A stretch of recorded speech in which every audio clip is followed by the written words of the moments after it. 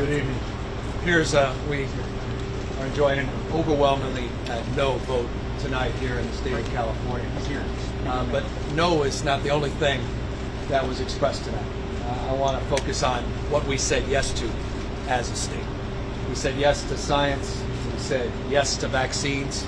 We said yes to ending this pandemic. We said yes to people's right to vote without fear of fake fraud or voter suppression.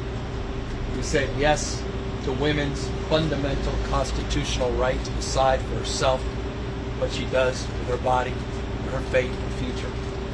We said yes to diversity. We said yes to inclusion.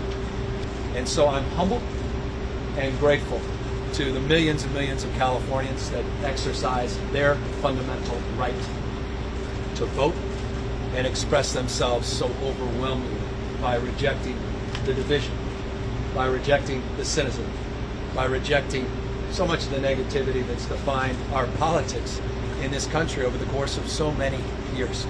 And I think about just in the last few days, the former president put out saying this election was rigged. Democracy is not a football. You don't throw it around. It's more like a, antique vase. You can drop it and smash it in a million different pieces. And that's what we're capable of doing if we don't stand up to meet the moment and push back. Tonight, I'm humbled, grateful, but resolved in the spirit of my political hero, Robert Kennedy, to make more gentle the life of this world. Thank you all very much, and thank you to 40 million Americans, 40 million Californians. Thank you for rejecting this Governor, Governor, what would you like to say to the Californians who voted in favor of this? Anthony Fauci win tonight?